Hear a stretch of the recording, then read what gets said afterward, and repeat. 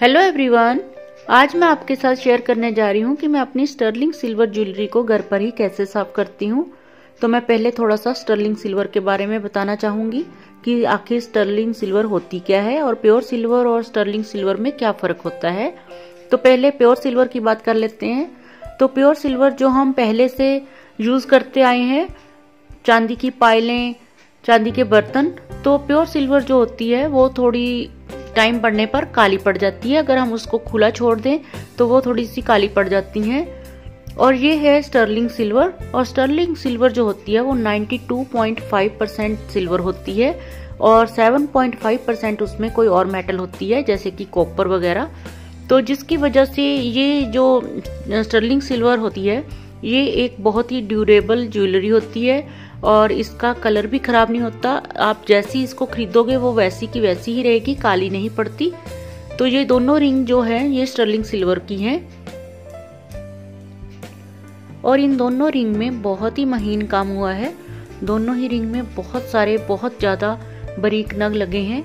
मुझे नग वाली ज्वेलरी बहुत ही अच्छी लगती है तो मैंने दोनों ही रिंग ऐसी ली हैं। जिनमें बहुत सारे नग लगे हैं। और इस ज्वेलरी का सबसे अच्छा मेरे को यही लगता है कि इनको मेंटेन करना बहुत आसान है। इनको साफ़ करना बहुत आसान है।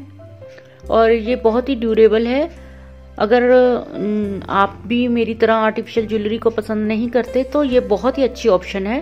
ये बहुत सालों साल चलती है और इसकी शाइन वगैरह वैसी की वैसी ही रहती है, ना ही कोई एलर्जी होती है। और ये हर ओकेजन पर आप इसको डाल सकते हैं। ये बहुत अच्छी ज्वेलरी है। तो मैं इसको घर पर ही बहुत ही आसान तरीके से साफ़ कर लेती हूँ। तो आज मैं आपको यही दिखाने वाली हूँ कि इनको साफ़ करना बहुत ही आसान है। तो चलिए देखते हैं।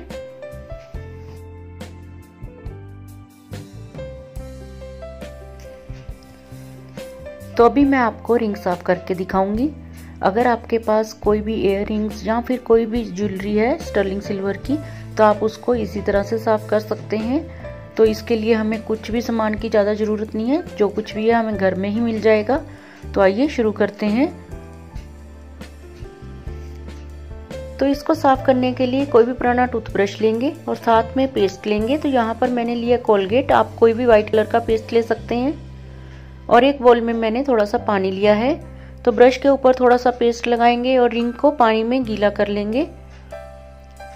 और फिर हल्के हाथ से हम ब्रश से इसे रब करेंगे, क्योंकि इसमें बहुत सारे नग लगे हैं तो इसे हल्के हाथों से ही रब करना चाहिए। तो रिंग को अंदर से भी साफ़ कर लेंगे, अंदर से भी काफ़ी मैली हो जाती है, क्योंकि रिंग पहने पहने हम कई तरह के काम करते रहते हैं। तो कभी डस्टिंग कर रहे हैं, कभी कुछ काम कर रहे हैं तो इस तरह से रिंग धीरे धीरे धीरे मैली होती जाती है, और जो इसके नग होते हैं वो मैले लगने लगते हैं, शाइन उनकी कम हो जाती है। तो इस तरह से साफ़ करने से रिंग दोबारा से बिल्कुल वैसी ही शाइन करेगी जैसी नई होती है। अगर आपको भी नई नई ज्वेलरी पहनने का शौक है तो आर्टिफिशियल की बजाय ये मेरे को ज़्यादा अच्छी ऑप्शन लगती है, क्योंकि आर्टिफिशियल जो हम ज्वेलरी लेते हैं, उससे एलर्जी के भी चांसेस होते हैं और वो जल्दी ख़राब भी हो जाती है और इतनी ड्यूरेबल भी नहीं होती। लेकिन ये बहुत ही ड्यूरेबल है और इसकी शाइन भी ख़राब नहीं होती। और जो ज़्यादा कॉस्टली भी नहीं होती।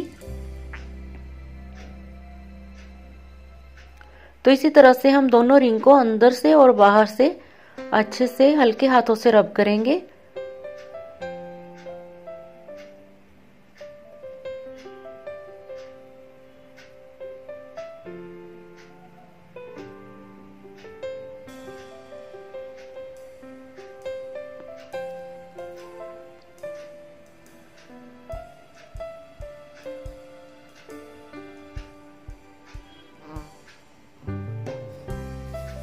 तो अभी दोनों रिंग को हम साफ़ पानी में डालेंगे और एक बार इसको साफ़ पानी में से धो लेंगे। तो अगर आप कभी भी स्टर्लिंग सिल्वर लेने की सोचें तो आप किसी भी रिप्यूटेड ज्वेलर से ही इसे परचेज करें। तो एक साफ़ मुलायम कपड़े में इसको पहुँच लेंगे।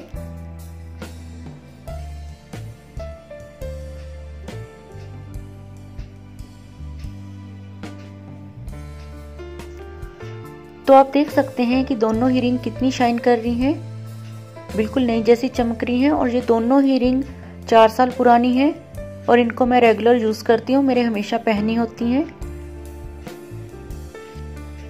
आपको स्टर्लिंग सिल्वर साफ़ करने का ये तरीका कैसा लगा कमेंट बॉक्स में ज़रूर बताएँ और आप इस तरीके को एक बार ट्राई ज़रूर करें।